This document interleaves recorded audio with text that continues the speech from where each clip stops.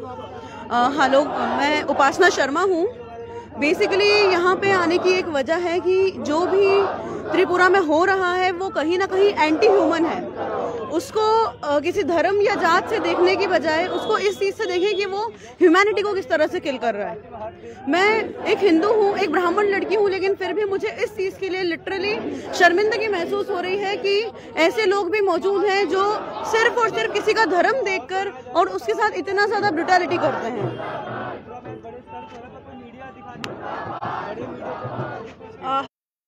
हम लोग मौजूद हैं त्रिपुरा भवन के सामने। यहाँ पर हो रहा है काफ़ी बड़ा प्रोटेस्ट एक सिटीजन्स कॉल दिया गया था आज दिल्ली में। त्रिपुरा में हो रही एंटी मुस्लिम जो हिंसा चल रही है, जो मस्जिद तोड़े जा रहे हैं, जो मुसलमानों की दुकानों को तोड़ा जा रहा है, उसके खिलाफ ये प्रोटेस्ट आज दिल्ली में दिया गया था और सिटीजन्स ग्रुप्स ने इसका कॉल दिया था। वहीं से हम आपको प्रोटेस्ट मार्च की रैली दिखा रहे हैं। मुर्दाबाद मुर्दाबाद मुर्दाबाद मुर्दाबाद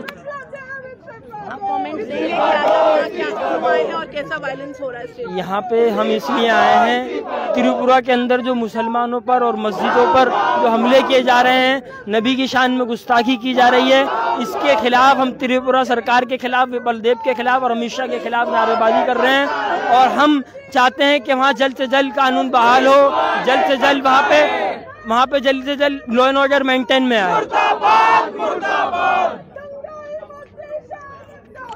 मुर्दाबाद मुर्दाबाद।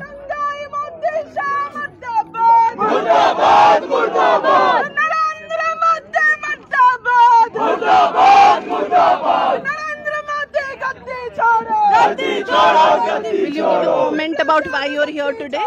हम यहाँ पर है ताकि जो अभी त्रिपुरा में हिंसा है अल्पसंख्यक मुसलमानों के खिलाफ, उनके जो मस्जिदों को तोड़ा जा रहा है, मकानों को तोड़ा जा रहा है, और उनके जो दुकानों को तोड़ा जा रहा है, उसको बचाने के लिए, उसको सेव करने के लिए हम लोग यहाँ पर प्रोटेस्ट कर रहे हैं। Thank you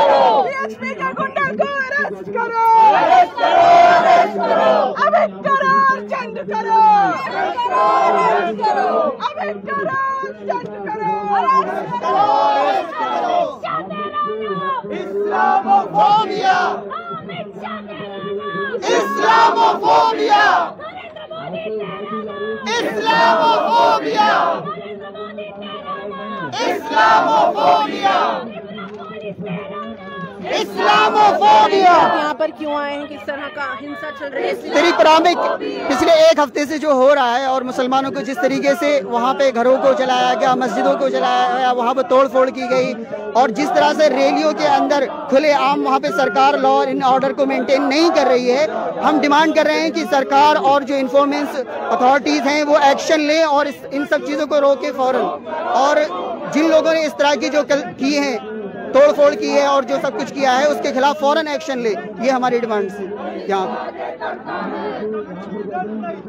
यहाँ पर लोग यही अपील कर रहे हैं कि अमित शाह की सरकार और उनकी होम मिनिस्ट्री नरेंद्र मोदी की सरकार ने त्रिपुरा पर बिल्कुल साइलेंस मेंटेन किया हुआ है।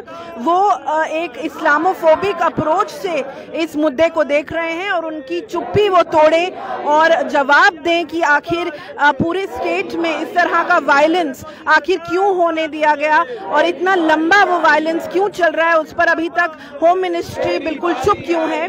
त्रिपुरा में आपको बता दें कि पिछले एक हफ़्ते से बहुत से मस्जिद तोड़े गए हैं, बहुत सी दुकानें जो हैं वो वैंडलाइज की गई हैं। और ये मुद्दा तब शुरू हुआ था जब वहाँ पर एक प्रो हिंदू जो रैली थी बांग्लादेश में, जो हिंदुओं के साथ हिंसा हो रही थी उस पर जो उस पर उसके समर्थन में हिंदुओं के समर्थन में वहाँ पर रैली शुरू हुई थी और वीएचपी और राइट विंग जो संगठन है हिंदुत्ववादी संगठन उन्होंने वहाँ पर रैलीज निकाली थी जिसके बाद से नॉर्थ त्रिपुरा में ये हिंसा भड़क रही है। टू कम ऑन क्या? जय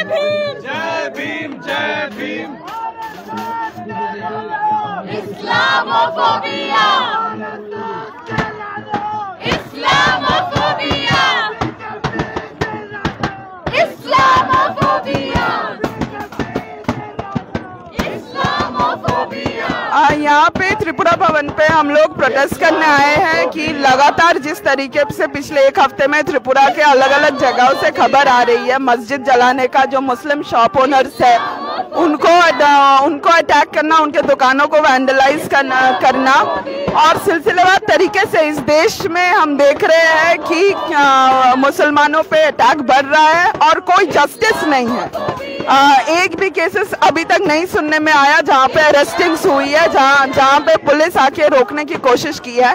पूरी पूरा ये वीएचपी विश्व हिंदू परिषद के गुंडों के द्वारा किया गया है और लगातार लगातार आरएसएस बीजेपी इसको आ, इसको अटैक्स हो। और उसमें जो अटैक कर रहे हैं उनको बाद में कोई पद सरकार में या मिनिस्ट्री में दिया जाए। और ये बिल्कुल स्टेट इम्प्यूनिटी के साथ ये अटैक्स हो रहा है और इसीलिए हम लोग यहाँ पे इकट्ठा हुए त्रिपुरा भवन से पहले ही हमें रोक लिया गया है।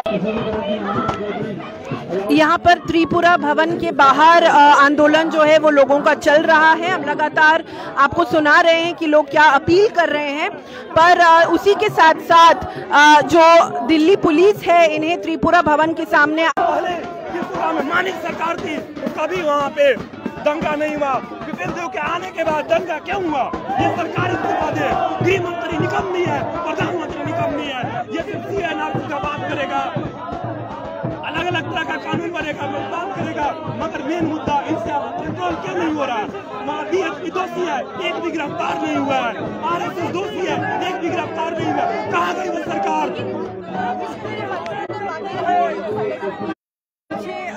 आप देख सकते हैं कि काफ़ी नारेबाजी चल रही है। बहुत सारे सिटीजन ग्रुप्स यहाँ पे मौजूद हैं। और त्रिपुरा में चल रही सांप्रदायिक हिंसा के विरोध में यहाँ लोग उतरे हुए हैं आज। पिछले एक हफ़्ते से त्रिपुरा में वायलेंस चल रहा है और वीएचपी और बीजेपी से जुड़े हुए हिंदुत्ववादी संगठन एंटी मुस्लिम वायलेंस को अनलीश कर रहे हैं यहाँ पर। यहाँ पर दिल्ली पुलिस इन्हें आगे नहीं बढ़ने दे रही है तो वो बैरिकेड के बाहर ही लोग यहाँ पे प्रोटेस्ट कर रहे हैं।